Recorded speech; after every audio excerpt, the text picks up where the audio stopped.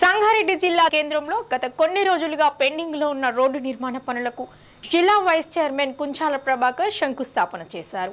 ఈ సందర్భంగా ఆయన మాట్లాడుతూ ఎన్నికల ముందే పూర్తి కావాల్సిన రోడ్డు పనులు ఎన్నికల కోర్టు కారణంగా ఆలస్యమైందని తెలిపారు. ఈ కార్యక్రమంలో రవీందర్ గౌడ్ టిఆర్ఎస్ యువత విభాగం అధ్యక్షుడు వెంకటేశం గౌడ్ తదితర నాయకులు పాల్గొన్నారు. నేడు జిన్నారం మండల్ హెడ్ క్వార్టర్లో ఆర్ఎండ్బి రోడ్డు ప్రారంభోత్సవం కార్యక్రమం జరపడం జరిగింది.